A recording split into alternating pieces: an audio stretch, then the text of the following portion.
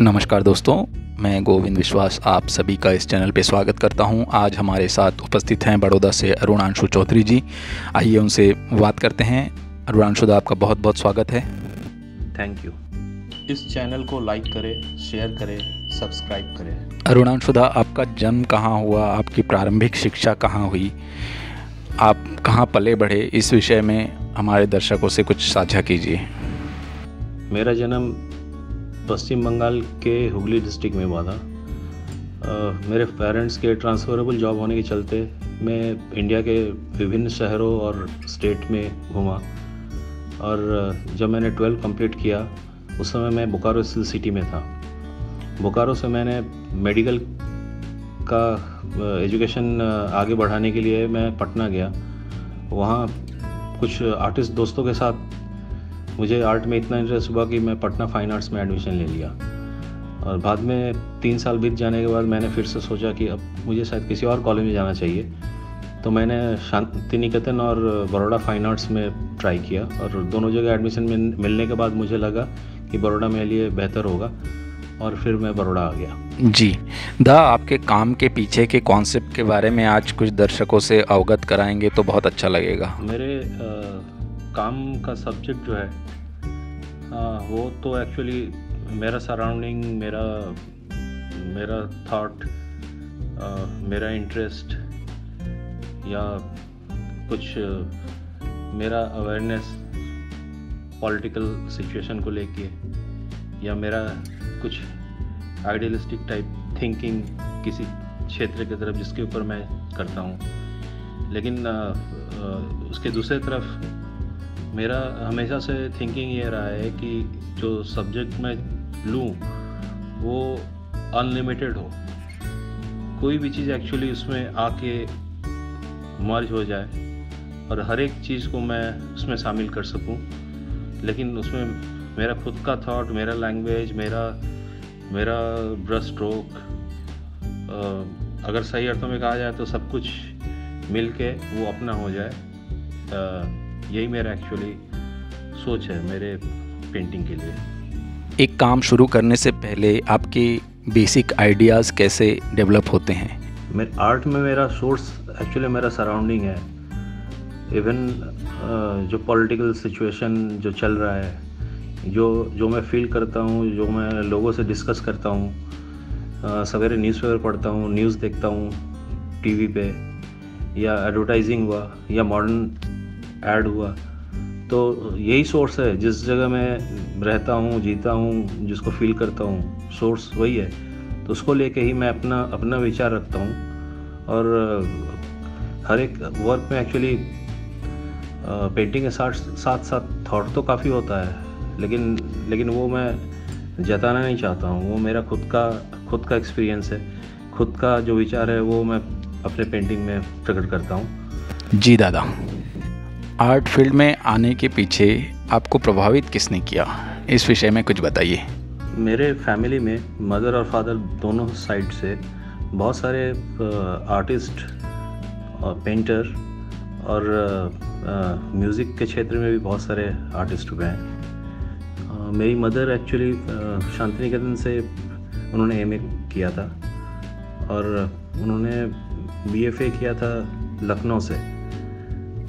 Sixty two के आसपास वो फाइन आर्ट्स कंप्लीट किया शांति निकेतन से। तो आपको शायद लगता होगा कि मुझे इंस्पिरेशन शायद मुझे मुझे मेरे मदर से मिला हो। तो वो तो मिला था, लेकिन मुझे लगता है कि मेरी दादी जो एजुकेटेड नहीं थी, लेकिन वो जब मैं छोटा था तो वो विभिन्न तरह का खिलौना या आटा से कुछ टॉय बनाती थी। जिससे मैं बहुत बहुत एक्चुअली इंस्पायर होता था। और आज मैं सोचता हूँ कि मेरे मेरे अंदर ये आर्ट आया कहाँ से?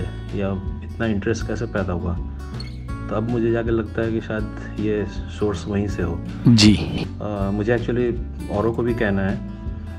आ, आर्ट एक्चुअली सिखाने से ऐसे नहीं सीख सकते।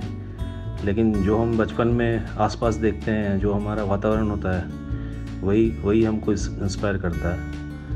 तो यही हुआ मेरे साथ। जी चाइल्डहुड मेमोरीज़ को आप कितना अपने काम में देख पाते हैं? क्या कुछ इंसिडेंट ऐसा है जिसे आप बताना चाहें?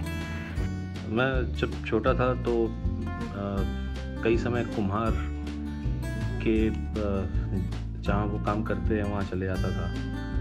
आ, उनको परेशान करता था उनके मिट्टी से या इससे।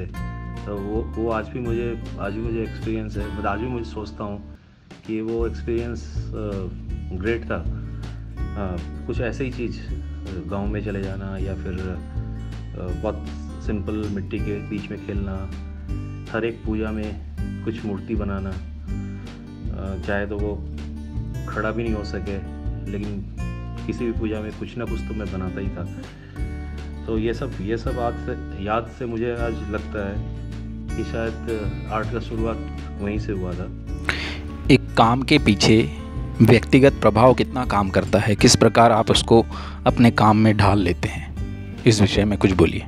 मेरे लाइफ के अलग अलग पड़ाव पे या फ़ेज़ जो बोल सकते हैं उसमें अलग अलग सोर्स आया आप समझ सकते हैं अगर अगर मेरे घर पे मेरे बेटे का जन्म हो रहा है और उसके बाद एक घर का एक अलग एटमोसफेयर होता है। कुछ अलग तरह का बस फील होता है। तो वो वो मेरे पेंटिंग में झल, झलकने लगा। सेकेंड टाइम कुछ और और भी कुछ महत्वपूर्ण कुछ हुआ जो मेरे सराउंडिंग में चल रहा है। तो वो जाने अनजाने में वो मेरे वर्क में आता ही था।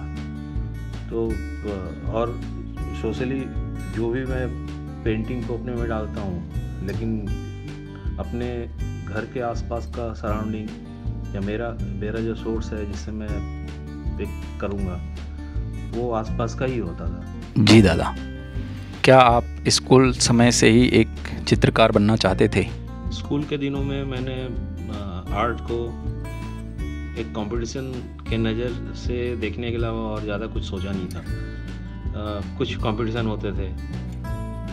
उसके कुछ पहले कुछ प्रैक्टिस करना और फिर प्राइज़ लेके आना यही आर्ट था उससे ज़्यादा मैंने कभी सोचा नहीं। वो तो बहुत बाद में आ, मुझे पता चला। जी जैसा आपने कहा था आपकी माता जी चित्रकार थी तो उनसे आपने क्या क्या सीखा? मदर मेरी शांति निकेतन से और लखनऊ से किया था। तो उस समय वो बंगाल स्कूल का फ़ेज़ था। उनके टीचर्स एक्चुअली नंदलाल बोस, राम किंकर, ये लोग थे। विनोद बिहारी मुखर्जी भी उस समय काफ़ी एज एज हो चुका था, लेकिन वो थे। तो उनके वर्क में एक्चुअली वॉस टेक्निक का और जो एशियन आर्ट का काफ़ी प्रभाव था। तो मदर का काम बहुत कुछ उस तरह से ही था। तो मैंने स्कूल के दिनों में मदर से वॉस टेक्निक और ये सब सीखा था। तो उसमें उसमें क्या होता है कि पेंट करके ऊपर से वॉश करना होता है कलर के थ्रू तो एक बहुत फॉगी इफ़ेक्ट एक लेयर जैसा फील होता था। तो मैंने ये सब किया था तो आज आज अगर मेरे काम में पेंटिंग में लेयर्स दिखता है। जी, बहुत अच्छी बात कही। लेयर्स के माध्यम से हम अपने एक एक फ़ेज़ को व्यक्त कर पाते हैं। ये एक कला का विषय का एक अभिन्न अंग भी होता है लेयर बाय लेयर जिससे समय का एक अनुपात हमारे कामों में दिखता है। क्या उस समय का प्रभाव आज भी आपके कामों में दिखता है?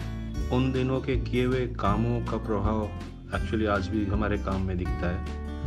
आ, मैं अपने वर्क पे आ, जैसे थिंकिंग एक के बाद एक आते रहता है। आज मैं कुछ सोच रहा हूँ कल शायद मुझे आ, उसके ऊपर से कुछ और करने का मन हो।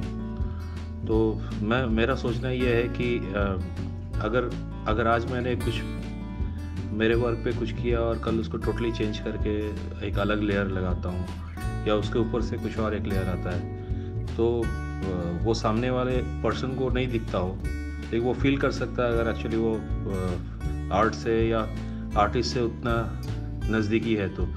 और मेरे लिए एक्चुअली सोचना ये है कि आर्टिस्ट खुद को समझ सकता है कि उसने कितना कितना स्ट्रगल किया है। और ये जो स्ट्रगल है कुछ अचीव करने का बार बार बनना, बिगड़ना, ये, यही हमारा इन्जॉयमेंट है।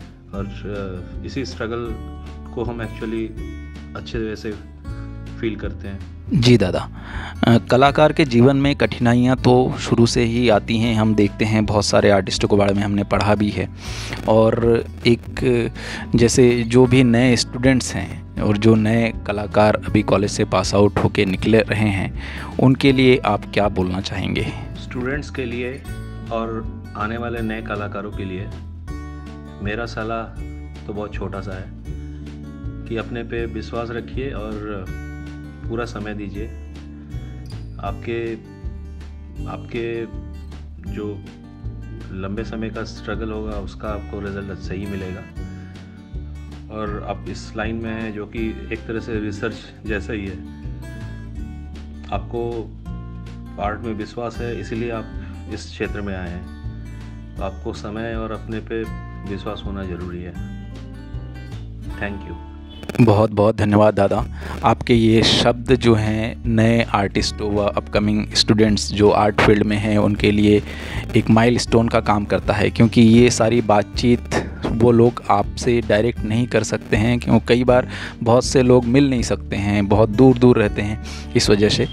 परंतु ये आने वाले समय में जब ये उन सब अनुभव उनके कामों में, उनके स्ट्रगल टाइम में ये सब दिखेगा तब उनके लिए ये बहुत महत्वपूर्ण होगा। और हम लाइव के ज़रिए आपका स्टूडियो भी कभी विज़िट करना चाहेंगे, तब तक के लिए हम अनुमति चाहते हैं। बहुत बहुत धन्यवाद।